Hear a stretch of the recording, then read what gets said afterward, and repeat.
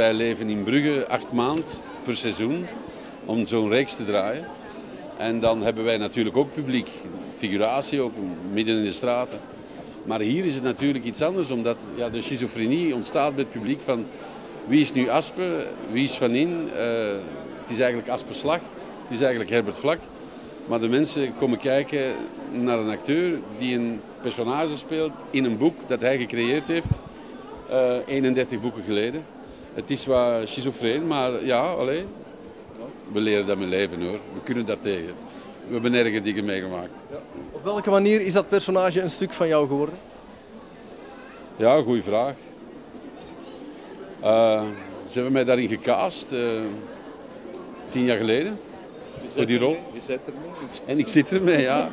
En ik had ook nooit gedacht dat dat tien jaar van mijn leven zou innemen, maar uh, laat ons eerlijk zijn, het is mijn broodwinning. Doe gelukkig daarnaast ook nog theater en nog andere dingen. Maar uh, ik vind het plezant. En ik, dit is leven met een crew. Hij is een man die alleen werkt met zijn computer en met zijn kop.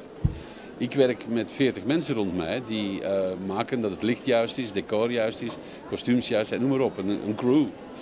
En dat is fun. De mooie madame. Ja, ja, en ik moet natuurlijk de scènes ook spelen.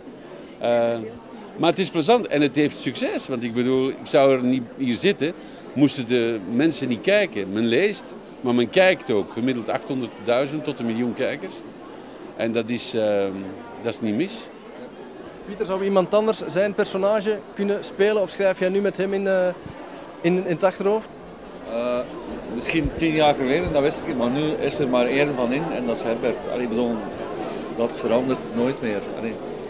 Dan kun je, je hebt er nog van, van andere series, ik had dat als kind, en dan veranderen ze de hoofdacteur. En dat was niet hetzelfde. Dus je wordt er één keer mee vertrouwd. Dat is, uh, zoals uh, met, met, met Simenon had je ook, uh, of met, met Poirot, ja, ja, bepaalde ja. acteurs. En die waren toen op dat moment dat personage.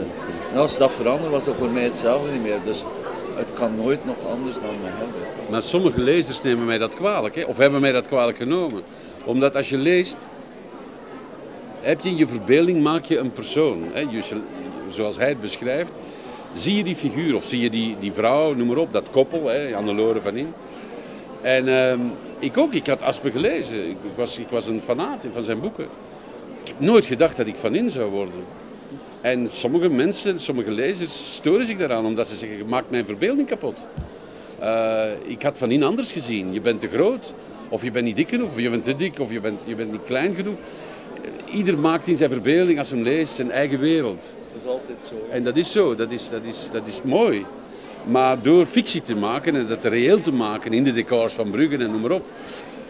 Ja, sommige mensen leren dat met leven en zeggen oké, maar anderen zeggen soms, ik heb mailtjes gekregen met, nu geen haatmails, maar, maar toch zo van, mm, mm, je maakt mijn verbeelding kapot. Ik snap dat ook wel. Ik snap dat ook wel. Zoals ik mezelf nooit als Van In had gezien. Anderen hebben mij dat moeten zeggen. En als je mij vraagt hoeveel ben jij Van In? Dat is iets intuïtief. Dat is iets, ik, moet zeggen dat gebeurt met die jas aan te doen. En word ik Van In en ook die replieken omdat ik zijn personage ruik en, en aanvoel en, en, en, en van mij heb gemaakt, ik zal het zo zeggen. Maar waar dat gebeurt, dat is zoals je aan hem zou vragen, waar haal je inspiratie vandaan? dat ontstaat, daar zal het dan wel artistiek zijn zeker, onze job. En zijn job. 哎